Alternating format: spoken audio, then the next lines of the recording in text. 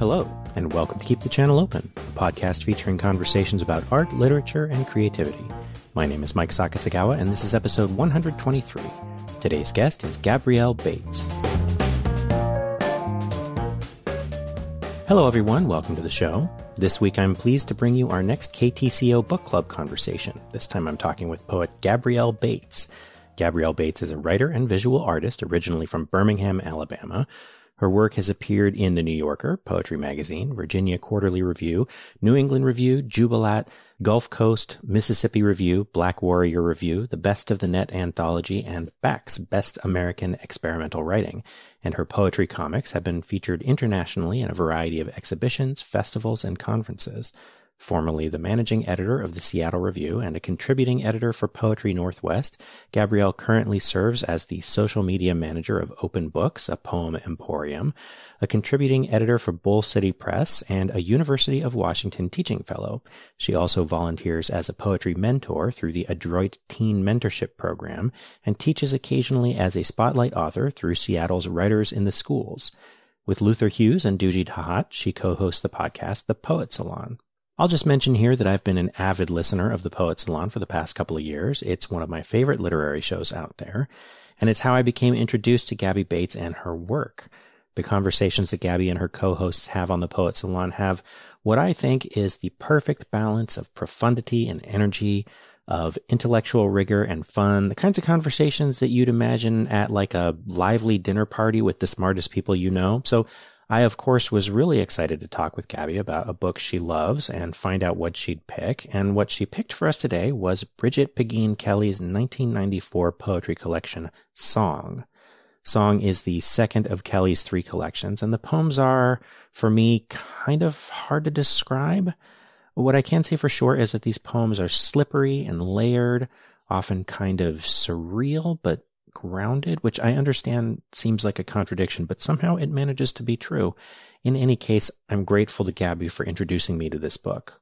Quick note before we start there are links in the show notes to where you can purchase your own copy of Song. I encourage you, of course, to buy from your own local independent bookstore. But if you haven't got one of those, I've included links to Open Books in Seattle and to the Book Catapult here in San Diego.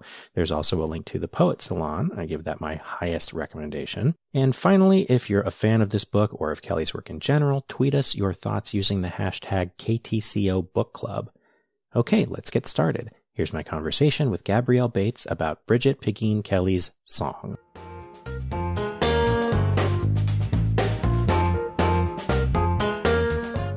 Wanted to thank you for picking this book. I, you know, I wasn't familiar with her work before, and so this this was sort of my introduction to her work.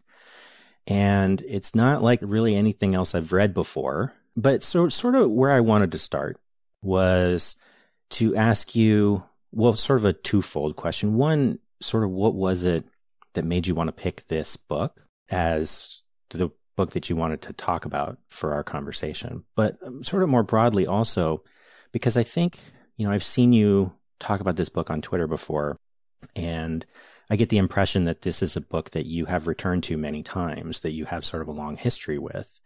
And, you know, if we could sort of talk about your history with the book as well, I would love to do that. How does that sound? It sounds incredible. And I don't think I could answer one of those questions without also touching on the other. So I'm glad you asked them interwovenly. Song by Brigit Pegeen Kelly came into my life in my very first poetry workshop in graduate school. I had a professor who noticed quite accurately that I was very uncomfortable reading poems out loud. It made me incredibly anxious. And he sought to cure me of this anxiety by asking me to read out loud to the class a lot. And one day he handed me the poem, the title poem from this book, Song, and asked me to read it to the class. And I remember more than any poem I'd ever read before, I disappeared into it. There was something about the music and the story and those long lines.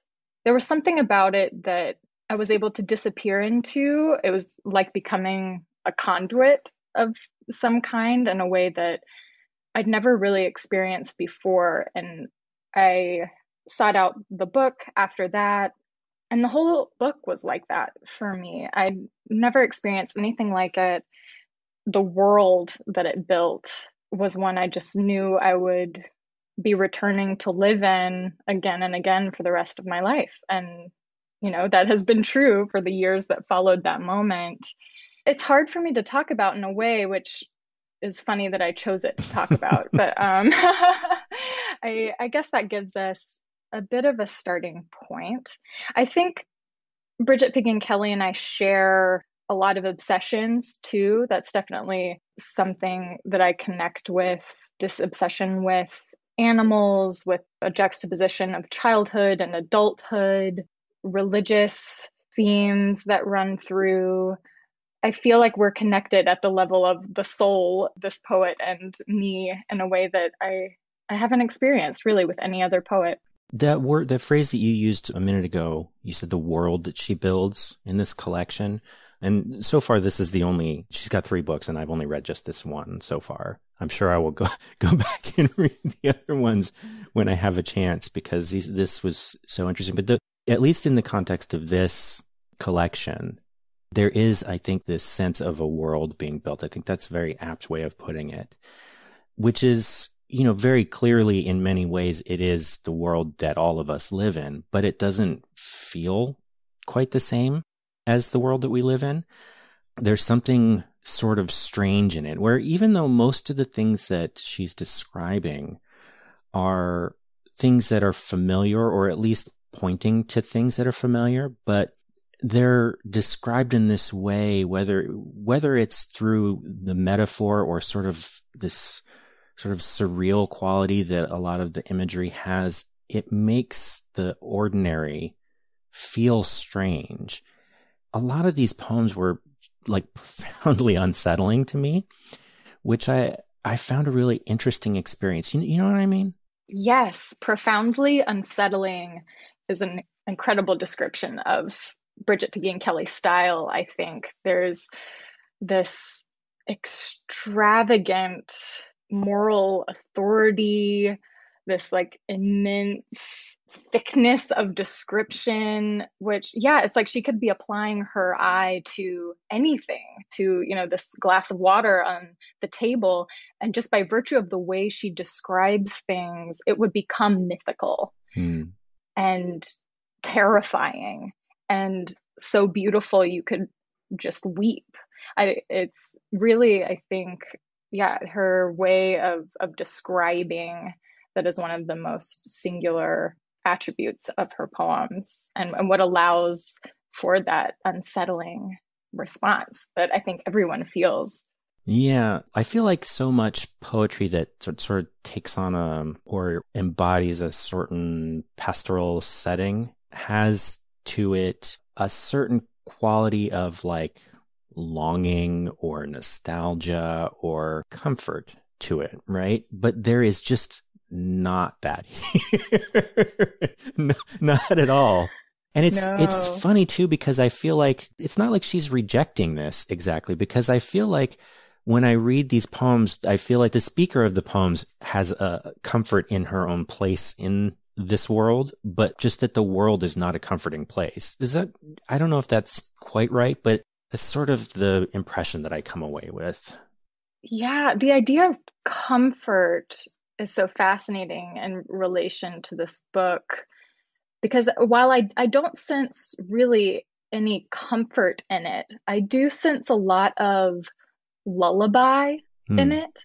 I think Brigit Pegeen Kelly's role as a mother with her attention to boys and girls and children is deeply felt in the book, but it, it is not it is not comforting really in the sense that I, I understand that word, but it is attentive mm. to the pain and suffering and weirdness of being young and being vulnerable. And so, in that sense, it is in a way comforting. Mm. And the music, the music in these poems is comforting in a way. It rocks me, it lulls me. And so and so there is like a womb like comfort in some ways. I'm reminded a little bit of the, the first conversation I had with Maggie Smith on the show when we were talking about her collection Good Bones and how she, I mean, obviously Maggie Smith's work is very, very different from uh, Brigit Pegeen Kelly's work, but that, you know, I remember talking to her about how she has this sense of a lot of her poems are sort of engaging with um, the way that the world can be a dark place, but often what they're about or what they're immediately about, what they're depicting is has a sort of softness to it as well. And that's not exactly what I am feeling here, but what's similar in both of these cases, I was reminded when I was talking of, to her, and I was reminded again when I was reading this, that um, so this is going to be a second or third hand quotation at this point. So there's a line in the photographer Sally Mann's autobiography, which is called Hold Still. And Sally Mann is sort of a problematic figure in the world of photography, but um, for a number of reasons. But she's a really excellent writer.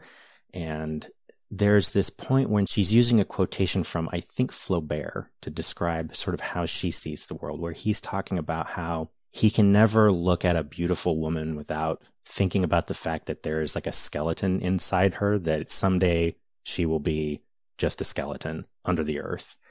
And that that is something that drives her photography, like how when she looks at her children, that's something that she thinks about uh, for them. And that is something here that I feel like there is this sense where there are these engagements with motherhood or with childhood, and in a way that there is a softness of regard, perhaps, but always with this awareness that there is a darkness to life as well, which is also something that I end up thinking about my kids a lot too. But you know what I mean? It's like I can see where there is a comfort to it, a sort of tenderness, but it's also very much engaged with this sense of finality, you know, which I find unsettling personally.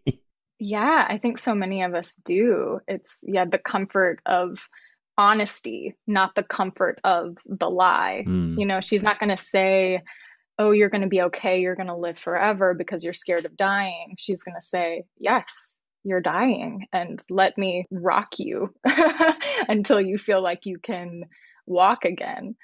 This book is so haunted by mortality, by cruelty, by the shadow that comes along with the heart. One of the things I love about this book is how much she uses the word heart, mm. which I would be so scared to you know use that word very much in poems because it can come off saccharine or unserious but the way she treats it she treats the heart the soul so seriously with such regard it is, you know, throughout this book, the heart is a bird. It is something separate from the self that is watched and obsessed over.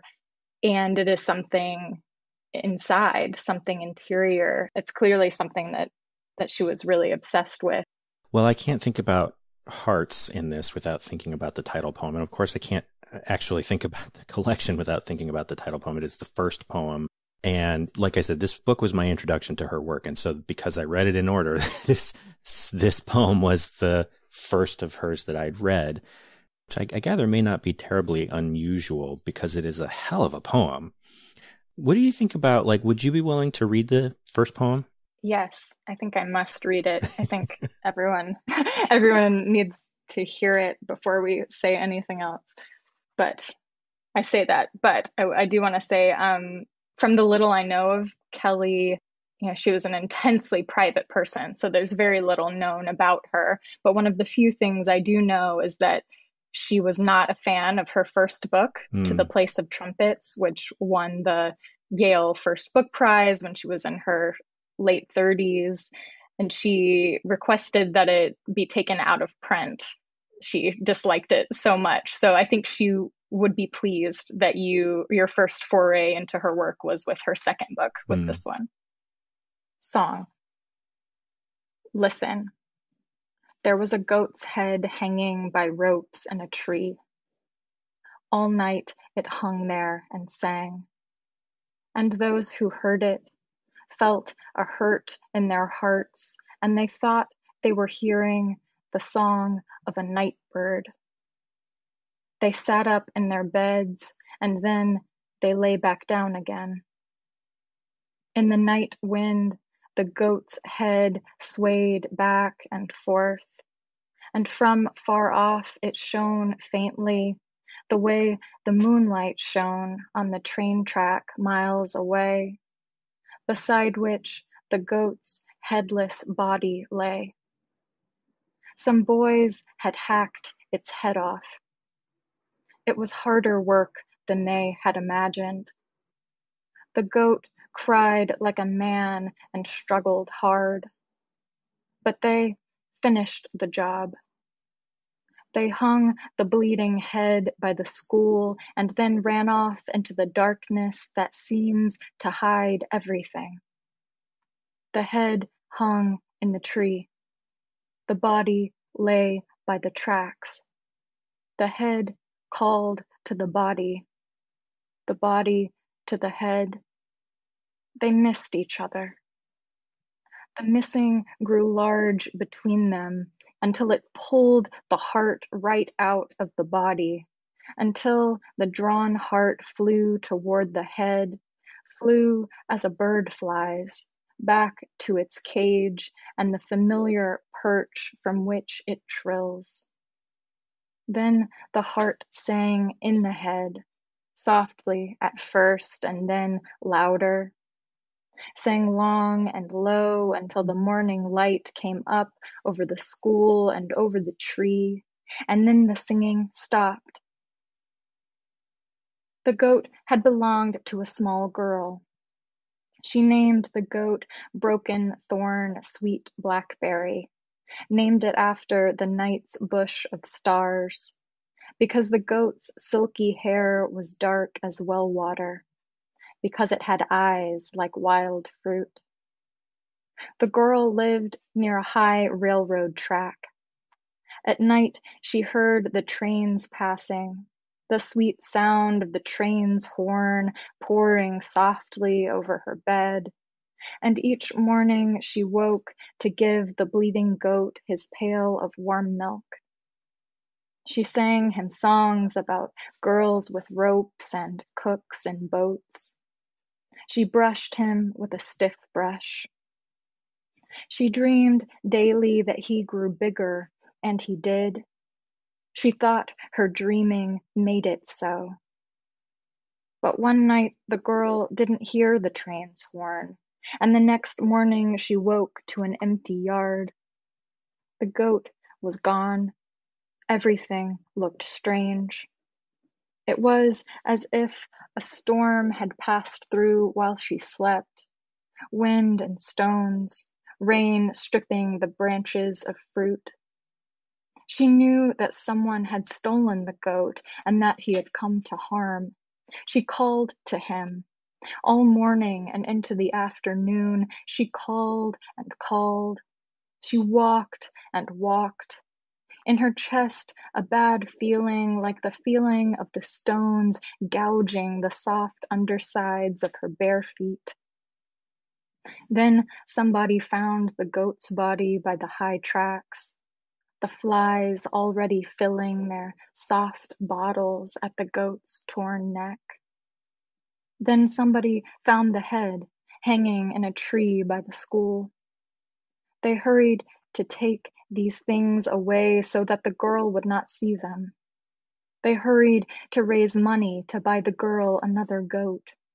They hurried to find the boys who had done this, to hear them say it was a joke, a joke, it was nothing but a joke. But listen, here is the point. The boys thought to have their fun and be done with it. It was harder work than they had imagined, this silly sacrifice, but they finished the job, whistling as they washed their large hands in the dark. What they didn't know was that the goat's head was already singing behind them in the tree. What they didn't know was that the goat's head would go on singing just for them. long after the ropes were down, and that they would learn to listen, pail after pail, stroke after patient stroke. They would wake in the night thinking they heard the wind in the trees or a night bird, but their hearts beating harder. There would be a whistle, a hum, a high murmur, and, at last, a song. The low song a lost boy sings, remembering his mother's call. Not a cruel song. No, no, not cruel at all. This song is sweet. It is sweet. The heart dies of this sweetness.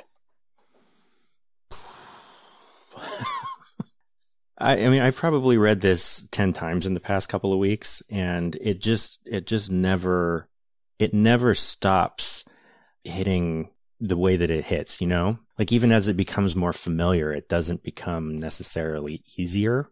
I thought a lot about this poem since I first read it and thinking about how I wanted to talk to you about the collection and talk to you about this poem. Of all of the poems in this book, this is my favorite. It's also the one that I think about the most. It's the one that sort of interestingly is one of the easier ones for me to get my arms around. You know, like a lot of the poems in this collection are very challenging. They're kind of opaque. And this one, it's not that there isn't opacity to it, but it's one of the mo- most narrative of all of the poems in the book.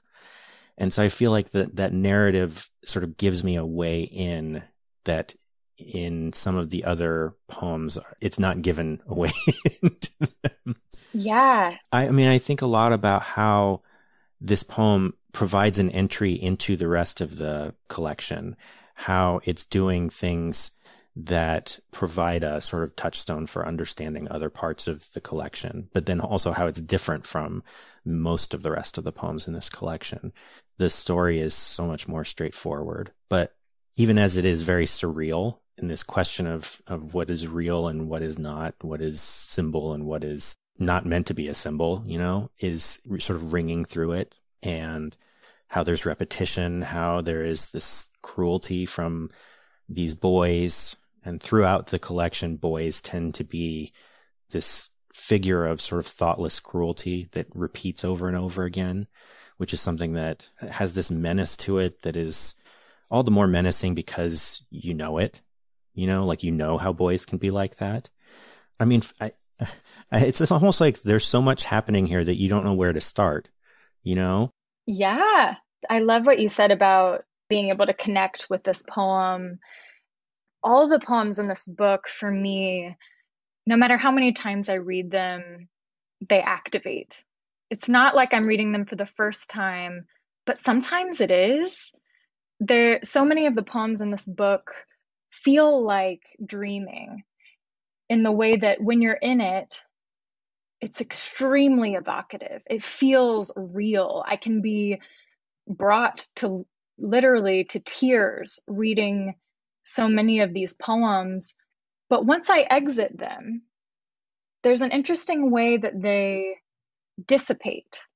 And I couldn't necessarily even recall a line or a central image from it in, in many of these poems. But then I re enter it, and it's the most overwhelming, embodied experience. And I think this title poem that I just read is an exception to that because it is so thoroughly narrative. It's like watching a short film in a way. It's ingrained in my brain to where, you know, I could never forget it after one read, after 10 reads, after 20 reads. And yet, like you said, like it never stops working on you. Like I when I just read it, I was incredibly moved. I was totally drawn into it again which is incredible. I think that title poem song is such an incredible example of how a poet can build an entire world out of a single word, out of a single word's history. And for this poem, you know, I think about the word tragedy, which comes from the Greek tragos for goat and oide for song. Quite literally, goat song is the word tragedy. And I feel like this poem can be read as a world conjured out of that one word, which blows my mind. and, you know, that's, you know, what, you know, so many poets do. We're obsessed with language, we're obsessed with the magic and the worlds that hide in the history of words. Mm-hmm. And I see across this book an obsession not only with what hides within a single word, but you know what hides within colloquialisms or certain nursery rhymes, these scraps of language that surround us all the time. Poets like Kelly see more in them. They're able to go through them like a portal into this dark, strange, whole other world with entire stories and casts of characters. It's mind boggling, isn't it? Yeah. I mean, I'm thinking about, I mean, I don't know where you grew up, how you grew up. For me, I, I grew up in a fairly small, uh, woodsy little town in Northern California. And, you know, now I live in one of the largest cities in the United States. And, you know, I remember when I went away to college, people talking about small towns in this way that it made it really obvious that they'd never spent any amount of time in a small town how you know so many people whether it's in the movies or the way politicians talk about small towns there's this sort of idyllic quality to the small town in american imagination. And yet i mean people are people everywhere. And so all of the same cruelties and smallnesses and menace that exists in a city or anywhere exists in the small town too. And that is like so front and center here. But at the same time that idyllic quality also exists in this poem. You know, like in the way that this unnamed girl cares for the goat, who is the only being in the poem that actually has a name, the tenderness with which she names this goat, takes care of it, dreams it into growing. I mean, it's just so soft. It's so beautiful. It's so gentle and yet because this has already come after we know the goat has had its head taken off like it's reading it is just like you use the word tragedy it is tragic and it's sad. The way that the poem moves from this sort of cruelty to tenderness back to cruelty and then back to a kind of tenderness again is just breathtaking. When i was sort of researching for this conversation i, I read a piece by Jeanann Verlee in Muzzle magazine, who's several years old at this point, where she was talking about this poem and the way that that piece ends. I'm just going to read the ending of it, the last paragraph. She says, Once a friend showed me a poem about magic, a poem about loss, a beautiful poem about the brutal suffering of poetic bodies, a sweet goat who cried and struggled, a girl who loved a whole love and lost her love to a grisly stunt, a poem about grief, the fracture of irreparable grief, a poem where a heart can fly as a bird in the night sky, where the massacred sing and go on singing, where the tormentors learn to listen. Once a sweet goat's severed head reminded me how to sing, how to haunt. That line about the tormentors learning to listen, I hadn't thought of that when I read the poem the first four or five times. And then when I read this, I was really just kind of crushed by it. um, because it's so unexpected. I realized that she's right how amazing and how unusual that learning is. And yet they do. Oh man, I just, I, I mean, this, this poem just flattens me. yeah one of the many magics of this poem for me is, you know, obviously the vast majority of my empathy and my sadness go to the girl and the slaughtered goat. But what's really incredible is how I feel, you know, sorry for these boys by the end too, and like tender towards them, towards the perpetrators of this really horrific violence, you know, they are haunted by this song forever. They didn't really know what they were doing. Their children at the mercy of, you know, this messed up world and the way we all are. and I just think the, the expansiveness of of heart and yeah, that like creepy tenderness even towards them that we're left with. You know, no one escapes this poem unscathed. Yeah. uh, we're all kind of brutalized by it and and held by it. You brought up place and small towns, and reminded me that you know, to me, despite the fact that, to my knowledge, she never lived in the South, Kelly will always be a Southern poet to me the god haunted baroque style the richly layered narratives that braid together ugliness and beauty the sacred and the profane the fecundity of the description in regards to the land and animals and human interactions between land and animals how you can feel the thickness of the air and the night in these worlds.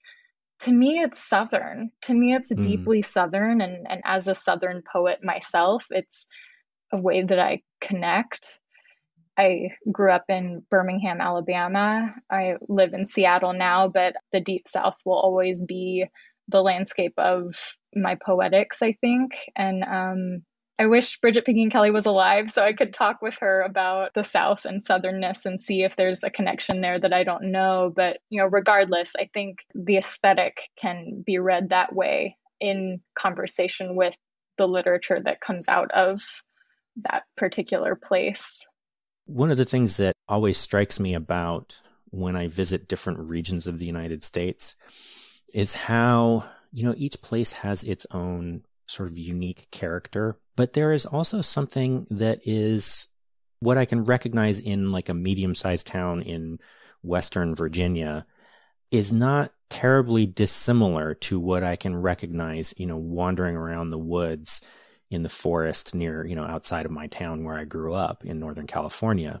I think you're right to say that there's a quality, and I want to say, I mean, maybe this is like too facile a word, but like a, the sort of gothic quality that um, we associate with Southern writers feels very present here, and we don't necessarily feel that in the same way with writers that are associated with the Northeast or the Midwest or California or whatever.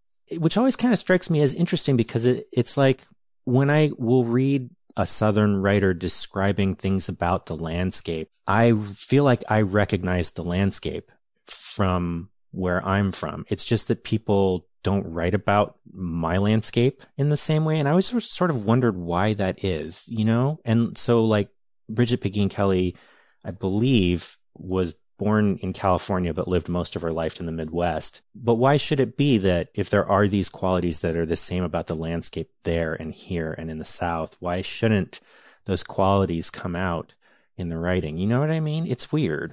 It's so weird. Yeah, I was a little squeamish to even share that take about her and southernness because how absurd in a way to argue, you know, someone's aesthetics are based in a place that they are not based. But I think it does have so much more to do with sensibility and attention than it does with your literal surroundings. Mm. It's it's a way of looking more than it is what you're looking at.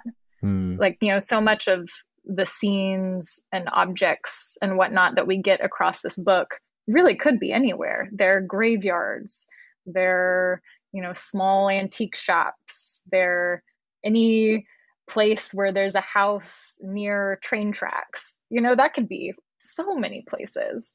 But it's in the way that she handles these things that to me feels in line with a Southern tradition or aesthetic yeah. in some ways. I mean, there is that sort of haunted quality that I do feel like is, I don't know, if I read Faulkner or something, Faulkner always has that sort of haunted quality that I don't feel in the same way from other sort of, you know, writers that are associated strongly with the geographic region of the United States. I don't feel it in the same way as you say, I think it's like more the person and how you're looking rather than what you're looking at. So I guess I wonder what it is about a person that would draw them to looking in that way, you know? Yeah. This is, you know, a stereotype which I want to be careful about, but I think maybe it's more about rural versus city in terms of pacing. I think there's a, you know, a slowness of attention and time that's clear in the poems and song. These are not rushed descriptions. These are not little things, snippets jotted in a notebook on a busy commute in New York City. You know, this is a, a landscape where someone is really spending time and watching and watching the transformation of even like a still object. And I think there's something about pace in relationship to certain types of landscapes and certain types of places where there is more nature surrounding, where you can't get from A to B as quickly, that maybe has something to do with a certain type of literature that tends to be written there. I don't want to be, you know, overly essentialist about it, but that would make sense to me. Yeah. If there was a connection.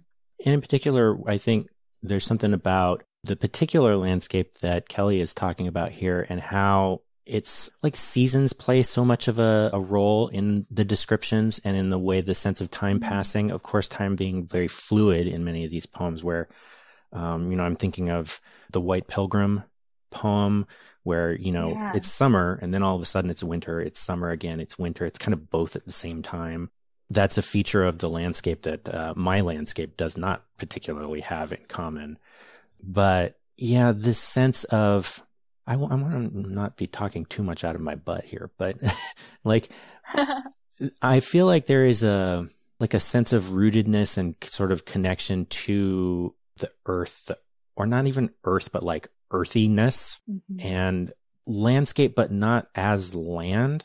I don't know if that quite makes sense. Like I'm gonna I'm gonna reach a little bit here. Reach. So where I'm from is uh, up in Monterey County, and my wife and I are both from that area. She grew up in Big Sur, which is a place that's obviously known for its landscape, mountains going right into the ocean. And I grew up in a valley that was, you know, maybe half an hour away in, you know, a small little valley, right? So I was used to oak trees, sort of rolling hills, a river going through it, and then these dramatic coastlines.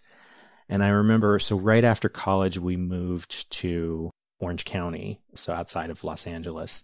And Orange County is very flat and very urban, suburban. And I remember saying to her, you know, I like it fine here. I mean, I don't really like it that much. I don't know if I like the people. But the thing that really gets me is that the land doesn't sing here. Where where we were from, I felt like the land sang. And I feel like there's something like that here where you know, it's not like like in Steinbeck where like the land is like a character, right? It's not like that.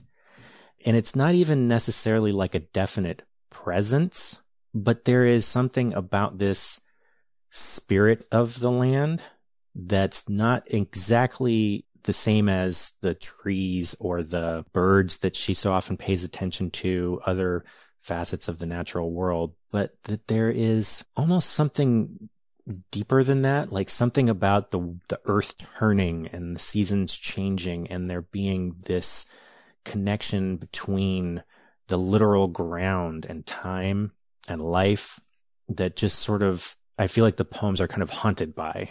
Um, does that does that strike you as? yes, I love that. I love so much of what you just said and described. Thank you. Yeah, I think that was gorgeous. Um, the, where the land sings.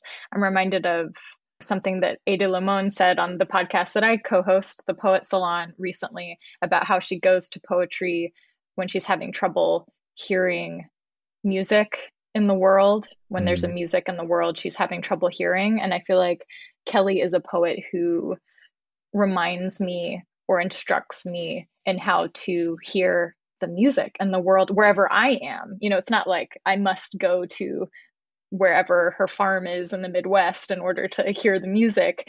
There's just a way that she attends to the world around her that draws that music out in a way that we can all hear it. I'm so interested in, yeah, you mentioned the poem The White Pilgrim, Old Christian Cemetery. And that poem stands out to me in this book as being a much more sort of frenetic pace. And so it makes sense that it would incorporate you know more than one season more than one time of day. It's really um it's it's moving quicker. It's got like really short sentences. It's moving faster than a lot of the other poems in the book. And in that poem i just have to shout out these lines the dead keep working. If you listen you can hear them. Like is that not southern? Is that not straight out of faulkner? But um if you listen to the landscape to wherever you are like the dead are talking to you. Mm-hmm. It uh, it sort of reminds me of that famous Faulkner line that everybody's quoting lately about how the past isn't past. It's mm-hmm. you, you, right. I can't. Yeah. So I wanted to talk a little bit about not just the imagery, not just the repeating themes, although like those are things that come to me a lot when I think about these poems. But but I wanted to talk a little bit about something. I'm just going to say it. I want to talk about the colons Yes, I can't wait to hear what you have to say about the colons in this book. so, uh, partially this is on my mind because I have just recently been reading and talking with Carrie Wason. And colons were on my mind with her because of the fact that she, her poetry uses a lot of em dashes.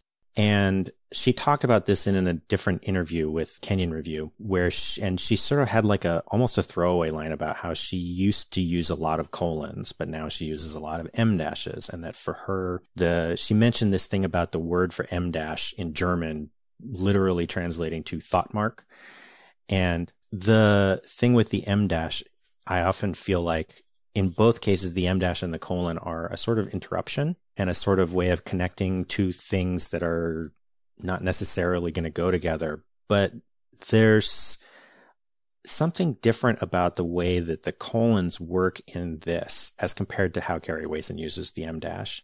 And I feel like it connects to how she uses metaphor and imagery in an interesting way.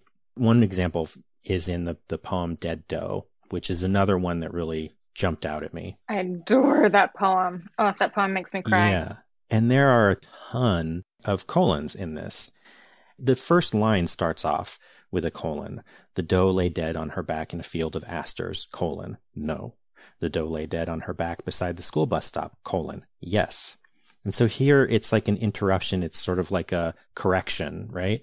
But as we go further in, and this happens all, all, over the place in these poems, where like one sentence will have a colon and then a, a fragment, and then another colon and then a fragment, and another colon and a fragment. And I kept thinking about how here the colon is acting almost like a little doorway where you're being asked to go further in and then further in again and then further in again. And there is also a way that she does this with symbols and metaphors too, where many times she will start with an image and then use a metaphor or a simile to describe that image or feeling.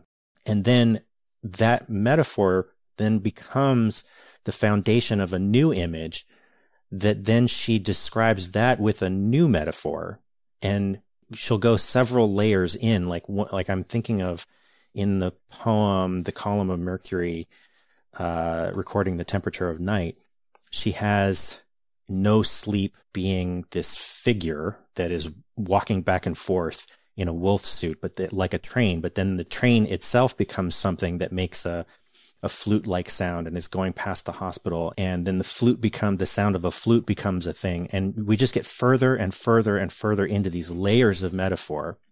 There aren't a lot of colons in that particular poem, but I feel like there's this connection between the way that she uses these like you know, like Inception, like the movie Inception, where it's like layers and layers and layers. And I feel like both the colons and her use of layers of metaphor are doing something similar. And it, it really, I don't know, it took me several readings to sort of get to this point with it. Cause at first I was just like, what is happening here?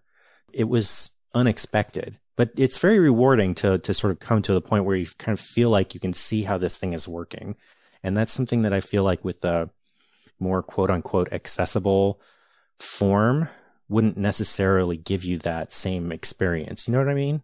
I love that interpretation of the colon as the sort of like small signifier of the layering work that she's doing metaphorically across the book and how both metaphor and the colon is a kind of doorway. I was going to say to the extent that an em dash feels to me like a bridge, a colon feels more to me like a portal. Like there's less mm. of hmm. that walking across to get from A to B, you're just kind of there.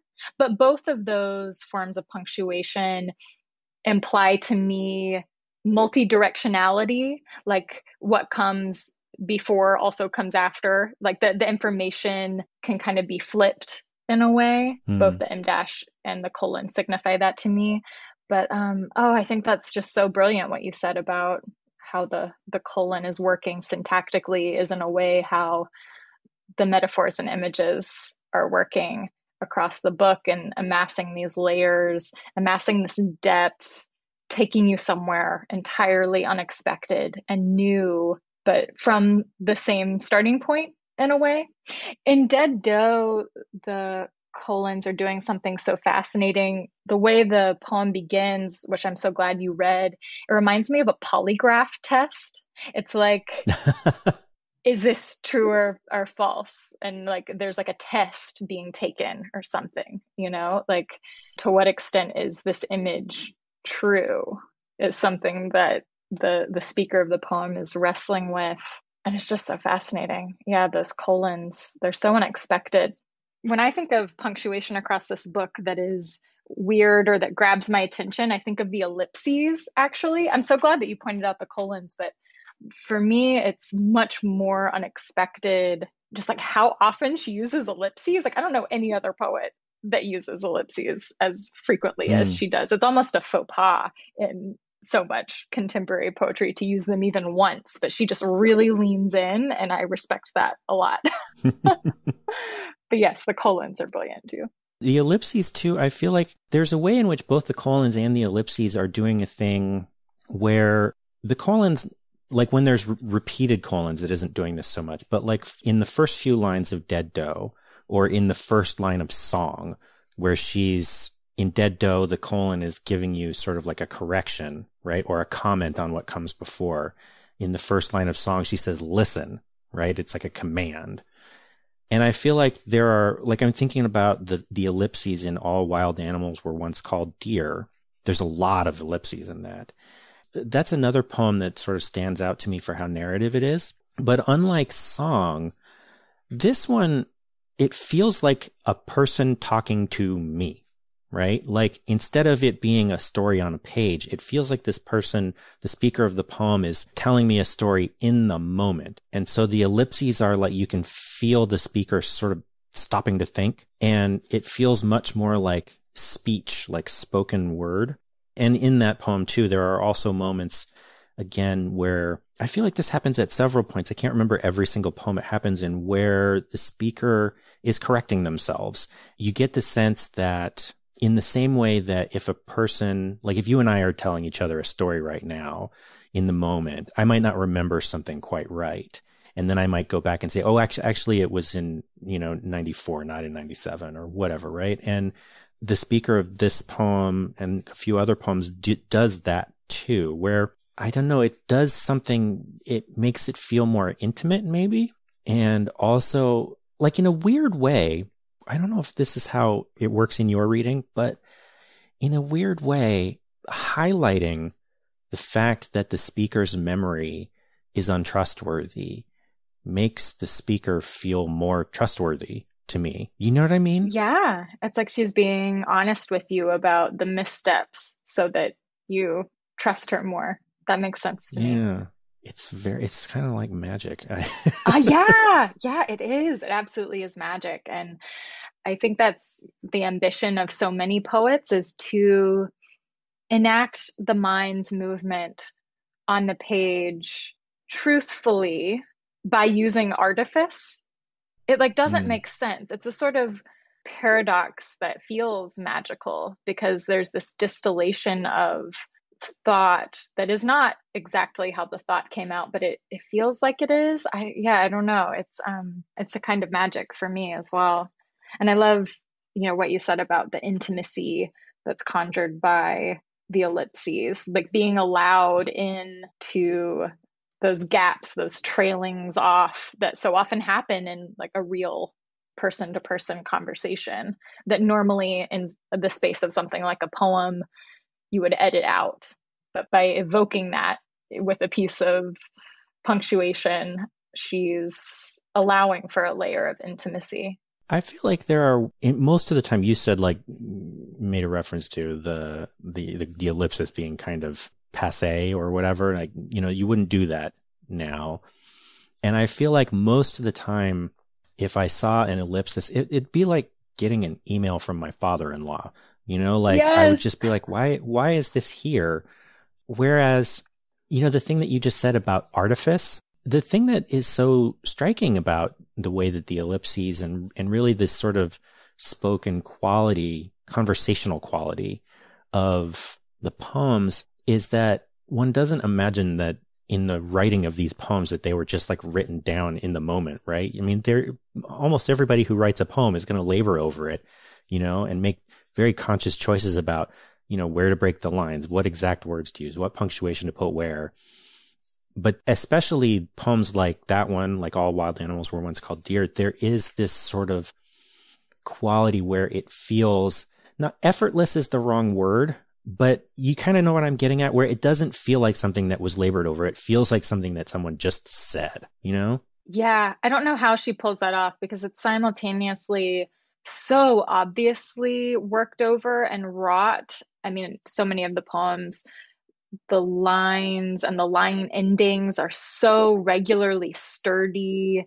The music is clearly like so wrought and you know even just seeing like physically on the page stanzas of very similar shape like this was clearly a like meticulously crafted poem you know across the book that applies to many of them and yet you're exactly right. There's this way that there's this natural cadence, this intimate, an I speaking to a you often that doesn't feel overly premeditated or overly revised. It's that magic pairing of those two facts. It's wild. Mm. So, one of the things that we talked about very briefly towards the beginning of the conversation was, you know, that I had admitted that you know, I found many of these poems to be fairly opaque.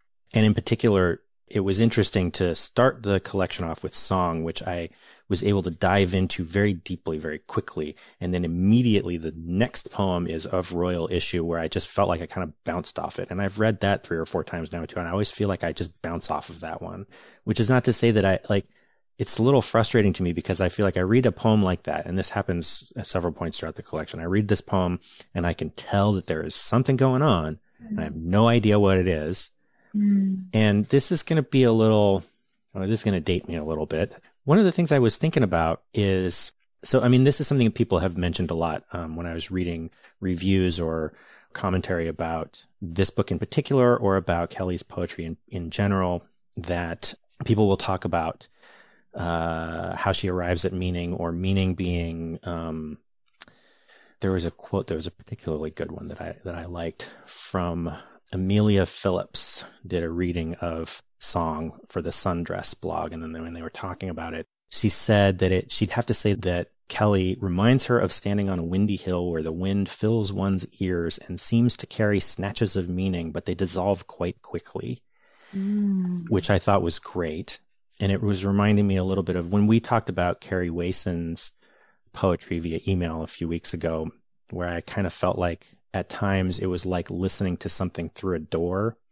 I could have some sort of sense of it, but I wanted to open the door to get a clearer sense of things. And one of the things that suddenly, like the third or fourth time I read through some of these poems, occurred to me is when I was in high school in uh, the early 1990s, and everybody was listening to Nirvana, and how everybody listened to Nirvana, and nobody had a goddamn clue what any of those songs were about, but we all still loved them.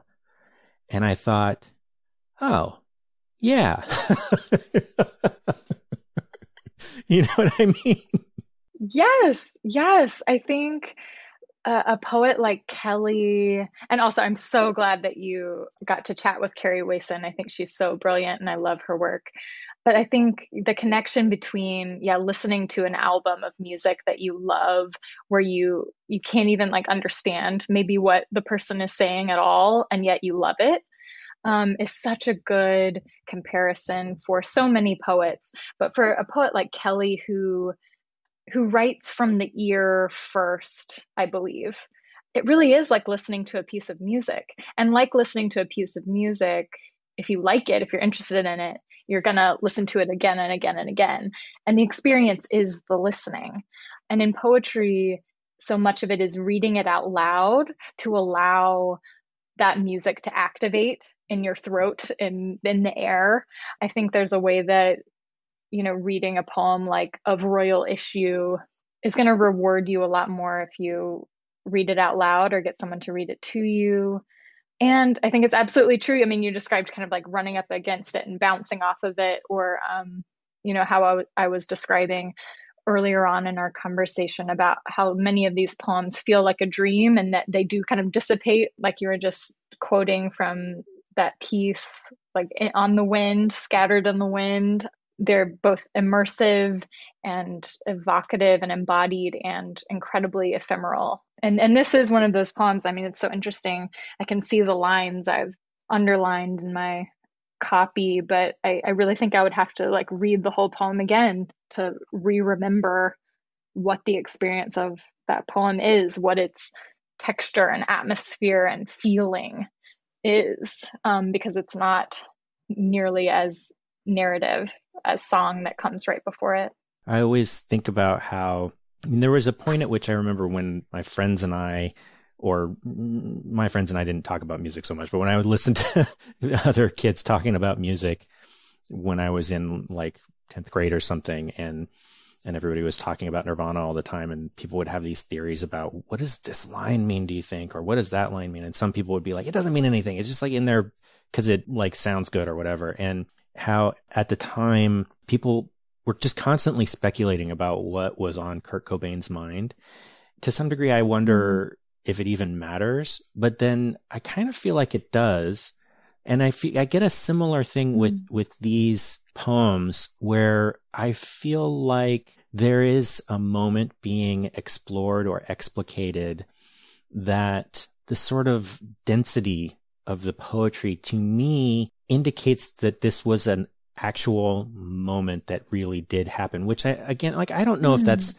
necessarily important. We always talk about how, like, it doesn't, like, what is the realness of a, of a work of art? What is the truth of a work of art? Does it matter if it's factual? I don't think it really does matter if it's factual, mm. but I, I just get this feeling that, like, there's some core to these poems that did happen, whether it was a moment hmm. or an image or a feeling or something that had a certain level of import to the poet and that there is this whole experience that's unfolding that I can't access, right? Cause like in this poem in, in Of Royal Issue, you know, you have these images of uh, birds on a plant and a boy doing something, not really completely clear what.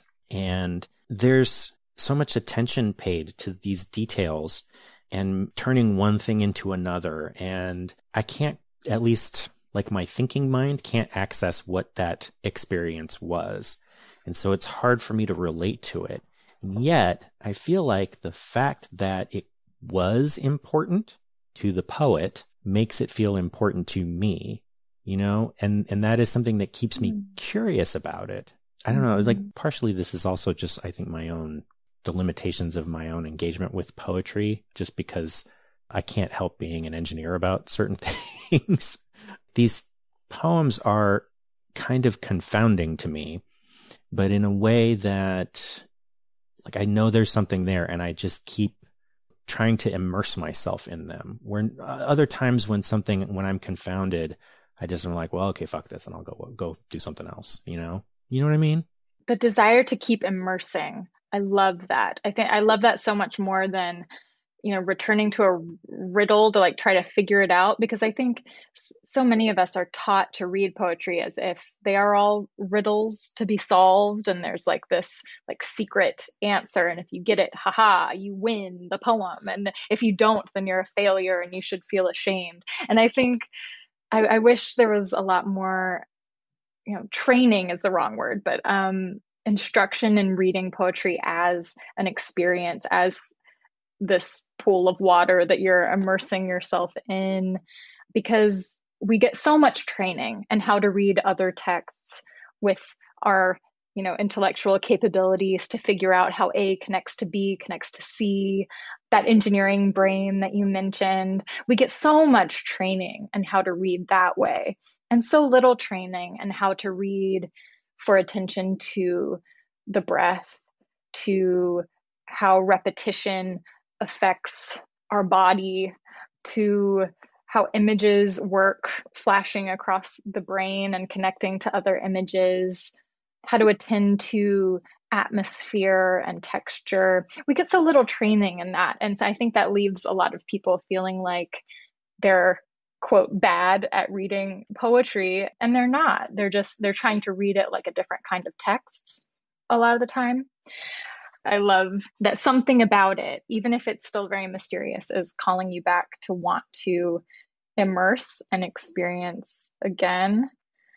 I really do think that a poet's work is autobiographical to the extent that their imagination is their life. And I get the sense that Brigit Pegeen Kelly had a very imaginative life. Like, I, I really do believe that she saw a lot of the impossible things that she describes mm. having seen, whether it was in a sleeping dream, a daydream, some sort of vision. I don't know, but the just the the accuracy of how these images feel and how she describes them and the the deep feeling that comes along with it. I believe that she has seen these things. I believe that they are real to her even if it's as impossible as a heart flying out of a chest and entering a goat's head or something. And I think that's like the real litmus test is like, does it feel quote unquote real to you? Like, can you see it? Can you feel it? Then, the, yeah, the, I believe there's like some kernel of of autobiographical truth, but that doesn't also mean that it's not entirely imagined. One of the poems has like even has this directly in it. I think it's the White Pilgrim Old Christian Cemetery again, where the speaker is talking about dreams, says, yes, you know, yes. this was around the time of the dream. Dreams come from somewhere. There's this argument about nowhere, but it is not true. I dreamed that some boys knocked down all the stones in the cemetery, and then it happened. And I feel like one of the things that I find kind of delightful, but also just kind of flummoxing is how I feel like there are certain points within a poem where the poem is not mainly a sort of meta poetic discussion where it's not exact it's not mainly a poem about the writing of a poem. And yet there will be like one line in the middle of it like that one where it's like oh this is about writing a poem and it's just like sort of buried in there probably five or six times throughout the collection there will be a line like that i wish i had written them all down i didn't but where it feels like all of a sudden we're talking about what a poem is or where a poem comes from or what the process of writing a poem is. And then it'll just go on to something else. That is also something very unusual. I feel like more often when I, I read poems about art making, that's the main point of the poem, you know? And there's something, like I say, both delightful and kind of flummoxing about how it just sort of comes and goes so quickly in the middle of uh, something else, you know? almost yeah. like the same movement of thought that uh, that we were talking about before, where the poet is thinking about this, and then just briefly the poet is thinking about this other thing, and then now we're back to the first thing again. That yeah, like you were saying, it captures the texture of the the thought in a way that I don't know. I don't know how to describe it, but you know what I mean? Poets are obsessed with poetry. We can't help it. I think there's a way that every single poem in the world can be read as an ars poetica or as, you know, a poem about poetry and poem making, even if it's not overtly written that way. Um, I think we just can't help it. We're obsessed with language and how it works and how it makes meaning and the distance and overlaps between sound and sense. And we're just obsessed. We can't help it. Um, we're we're obsessed with ourselves and our our art. But um, I I mean, yes, there's a way that the line, you know, th- there is this argument about nowhere, but it is not true in regards to dreams can absolutely, you know, be applied to the world of the poem and poem writing but also, we all have dreams, you know, whether we write poems are not. And, you know, anyone can wonder about the origins of dreams and the effect of dreams on the exterior world and you know whether or not god exists like these are preoccupations not just of poets of course so it's interesting how yeah, these little snippets that feel like they're very much about poetry or the act of writing a poem are also applicable to so many things outside of the world of poetry too. Do you feel like with these poems, like something that um I find about these poems is that there is this existential curiosity to them.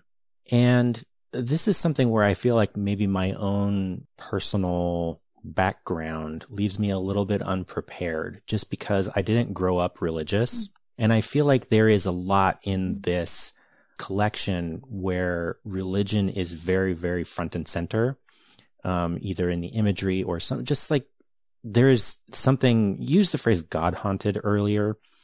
And I'm not very well equipped to, um, I'm not sure if receive is the right word for that, but you know, like I have my own existential quandaries and curiosities as well. And mm-hmm. there are ways where that's happening in this that are ways that are, feel accessible to me. The religious aspects are a little less so, but I feel like, mm. again, these are things that are important to the poet. I almost feel like I wonder if there's a way in which, for somebody like me, the sort of more secular philosophical aspects can be a little bit of a doorway into the religious philosophical aspect. I'm not I'm not sure. I mean there's there there's definitely something that I find mm-hmm. interesting about the religious aspects of this, but I I wonder how they uh, read, how they hit to a person who shares that background. It's entirely possible that her poems and lines that wrestle more overtly with ideas of God or Christianity uh, resonate more um, with me as someone who did grow up, you know, reading a lot of the Bible and, you know, whose own work wrestles a lot with the legacy of those beliefs. I know that Kelly, you know, grew up Catholic. Um, I don't know what to ex- to what extent she remained Catholic outside of her childhood, but I know that she was interested in troubling it or, or wrestling with it I love this line from the White Pilgrim I know your works, God said, and that is what I am afraid of. like, there's a humor in some of these poems too, even in regards to things like God.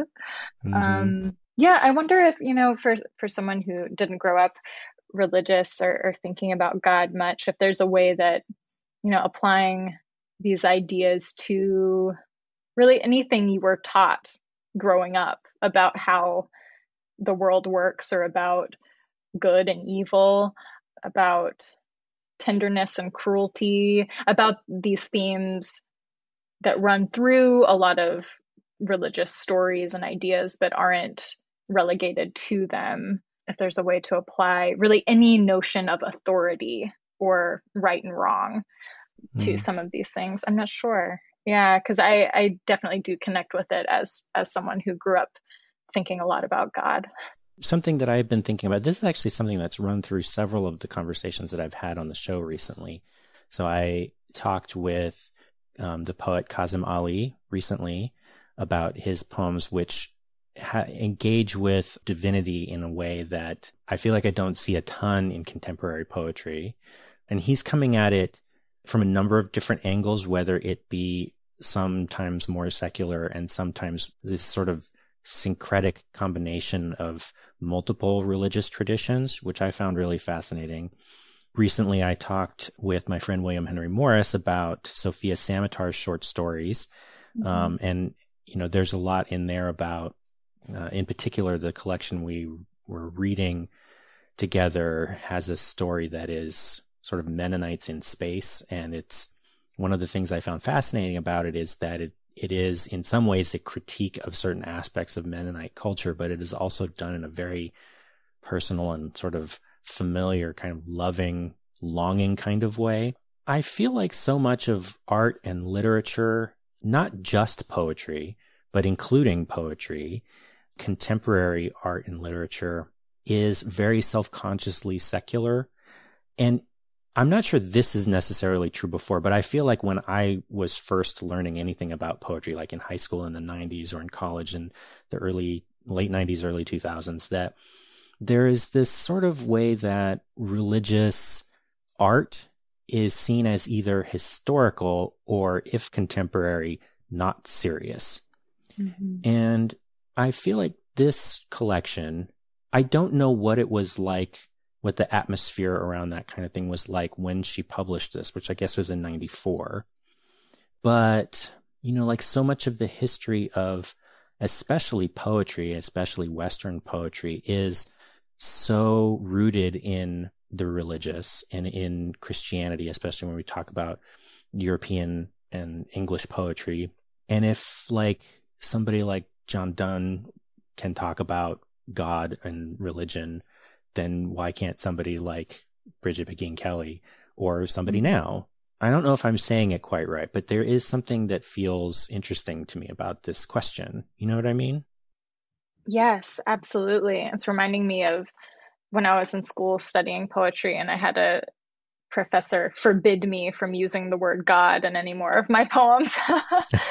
um, there's definitely a, or has been, at least in some academic spheres a, a real resistance to writing into ideas of religion and religious belief. But I do think that's changing quite a bit. I think many celebrated poets right now are very interested in ideas of faith and devotion. I've, I've noticed so much brilliant work coming from Black queer poets in particular, er, and thinking about ideas of of queerness and sex and the body through these lenses of devotion and faith and legacies of Christianity and Christian iconography. And this work is stunning and this work is, you know, being read. So I'm I'm excited by what feels like an opening, less resistance, just kind of in general to that terrain of human thought and experience. Uh, it's a bummer that for a long time it was um, in such bad taste to even mm. you know attempt. But also maybe that was necessary. Maybe you know Christianity was bearing down so stiflingly on art that it needed to kind of totally repel it for a while. But yeah, I'm I'm glad that so many contemporary poets are are wrestling with ideas of faith and religion right now.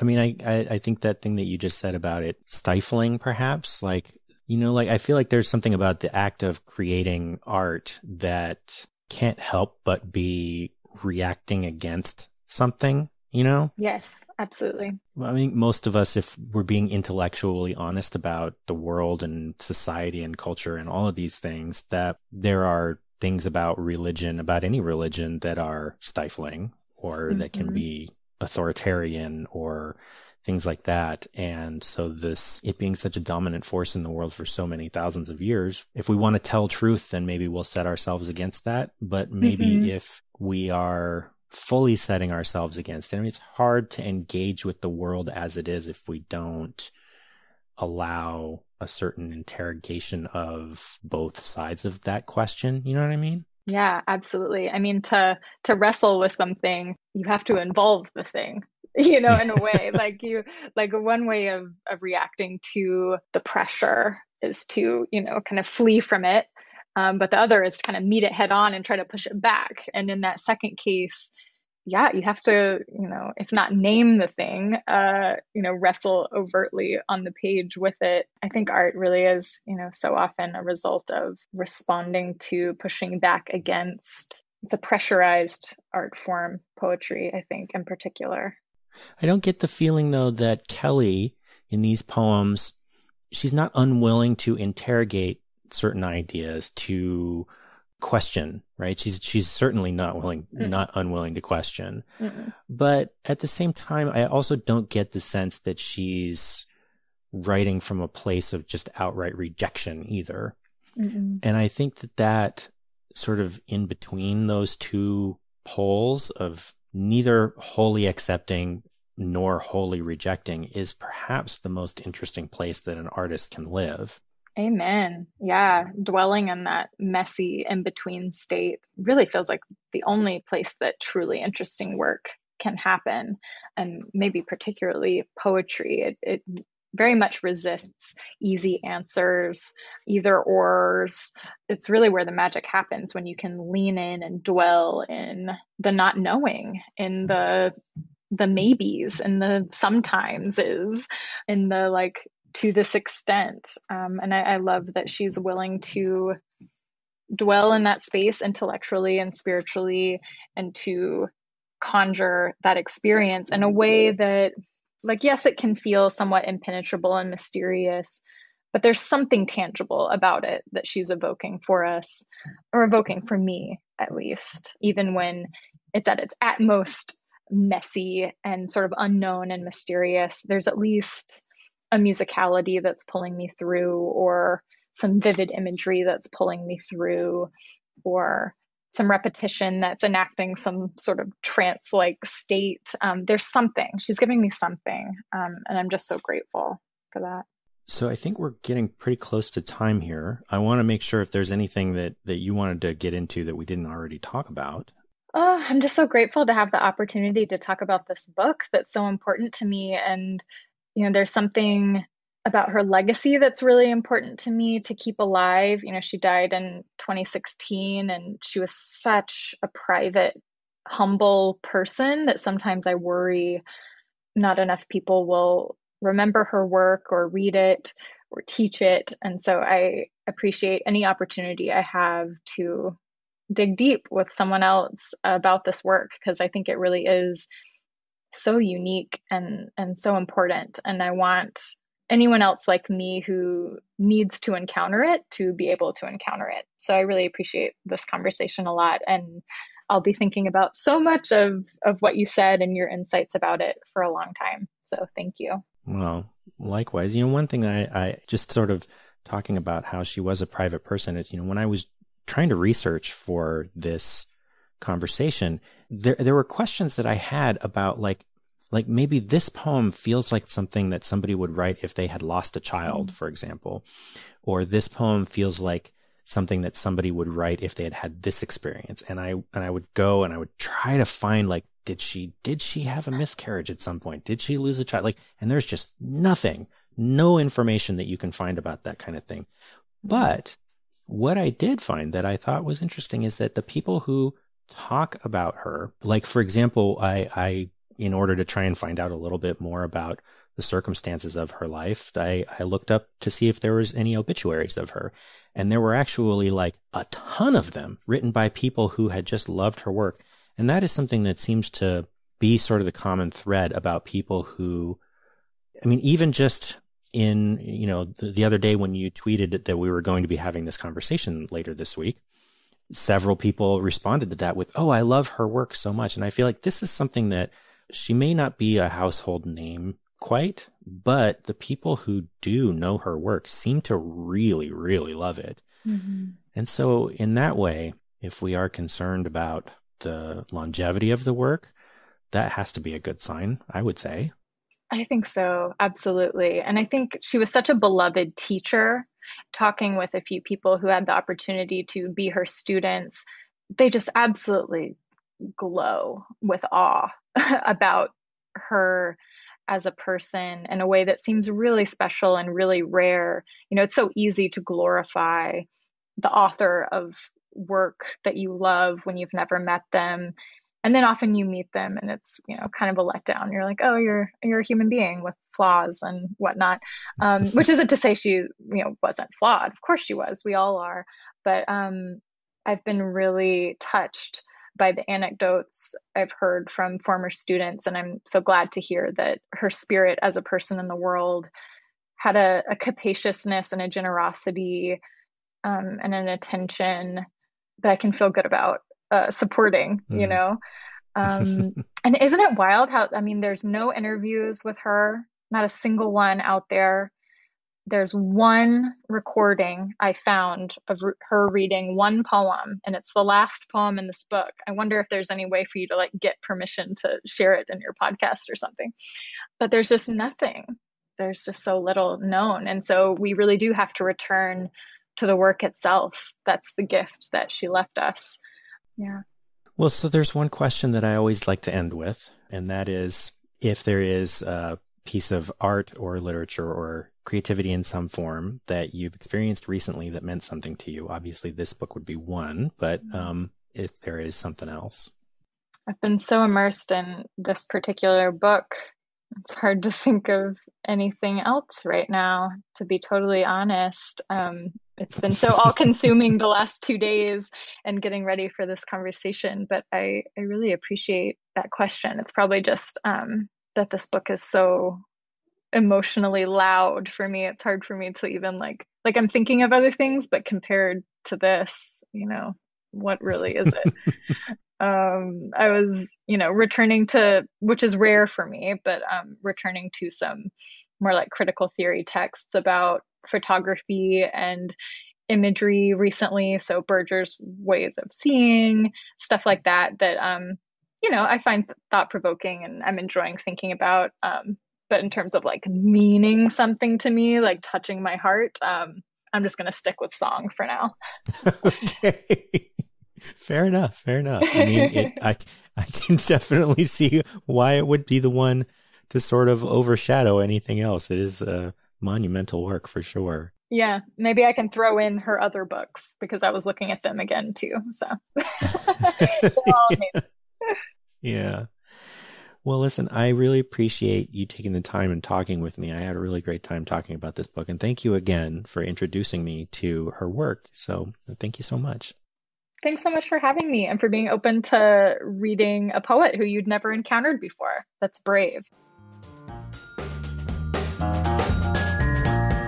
Okay, as I mentioned at the top of the show, there are links in the show notes where you can purchase a copy of Song. And of course, I also always recommend buying from your local independent bookstore.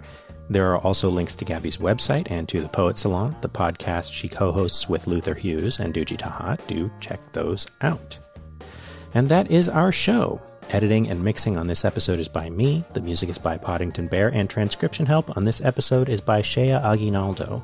I'd love to hear your thoughts about song, about my conversations with Gabby, or really about whatever you'd like to tell me. You can find me in the show on Twitter at ChannelOpenPod. I'd love it even more if you shared the episode with someone you think you might enjoy it, and if you happened to tag the show in your social media posts, even better.